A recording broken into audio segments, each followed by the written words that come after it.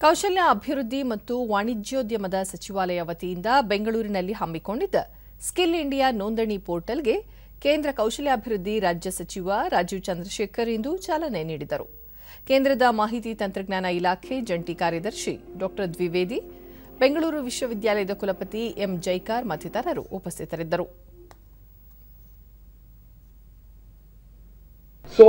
ಬಳಿಕ Rajiv Chandrashekhar JSS, ITI ಮುಂತಾದ ಪ್ರತಿಷ್ಠಿತ ಶಿಕ್ಷಣ ಸಂಸ್ಥೆಗಳ ಸಹಕಾರದೊಂದಿಗೆ ಯುವ ಜನತೆಗೆ ಕೌಶಲ್ಯ ತರಬೇತಿ ನೀಡಲಾಗುತ್ತಿದೆ. ಯುವ ಸಮೂಹ ಸ್ವಯಂ ಉದ್ಯೋಗದತ್ತ ಆಸಕ್ತಿ ತೋರುತ್ತಿರುವುದು ಹೆಮ್ಮೆಯ ವಿಷಯವಾಗಿದೆ ಎಂದರು. ಎರಡು ಸಾವಿರದ ಹದಿನಾಲ್ಕರ ನಂತರ ಡಿಜಿಟಲೀಕರಣವಾಗಿದ್ದು, ದೇಶದ ಬಹುತೇಕ ಜನರು ಇದರ ಸದುಪಯೋಗ ಪಡೆಯುತ್ತಿದ್ದಾರೆ. ಹದಿನೆಂಟು ಲಕ್ಷ ಉದ್ಯೋಗಗಳಿದ್ದರೂ ನುರಿತ ಕಂಪನಿಗಳ ಕೊರತೆ ಇದೆ. ಇದರ ಹೊರತಾಗಿಯೂ ಪ್ರತಿಷ್ಠಿತ ಆಪಲ್ ಕಂಪನಿ ದೇವನಹಳ್ಳಿ ಕೋಲಾರ ಸೇರಿದಂತೆ ಮುಂತಾದ ಕಡೆಗಳಲ್ಲಿ ತನ್ನ ಉತ್ಪನ್ನಗಳ ತಯಾರಿಕೆಯಲ್ಲಿ ತೊಡಗಿದ್ದು ಉದ್ಯೋಗಾವಕಾಶಗಳನ್ನು ಹೆಚ್ಚಿಸಿವೆ ಎಂದು ಹೇಳಿದರು And for indeed the world today who is looking at Indian talent, not just in IT, BT, but across the board in so many different areas, how do we transform the potential?